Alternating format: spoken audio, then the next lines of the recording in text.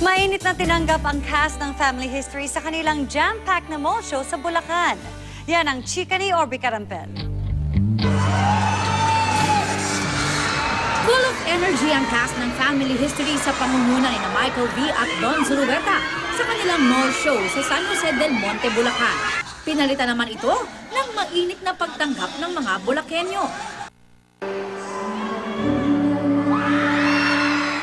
Tinilian din ang song number ni Sahaya star Bianca Umali na gumaganap bilang si Jenna sa pelikula.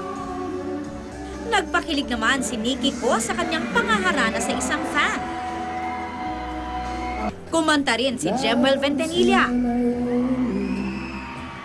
Sa breakdancing naman nagpakitang gilas si Vince Gaman. Kinanta rin ng cast ang original theme song ng pelikula na komposisyon din ni Bitoy. Grabe, napaka-warm, napaka ah, talagang ah, parang at home na at home kami dito. Actually, namimingin na ako. eh. ano nga yun, ah?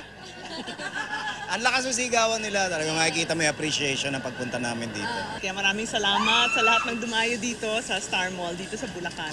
Sa backstage, hindi pa rin natapos ang kulitan ng cast. Ganon daw talaga sila, lalo pagkasama si Direk Bitoy. Ito gustong gustong kumain dito. Tawag nga sa kanya, Eat Bulacan eh. Eat Bulacan? Eat Bulacan. Eat Bulacan. Si Bianca, matagal na raw fan ng Kapuso Comedy Genius. Oo, talaga.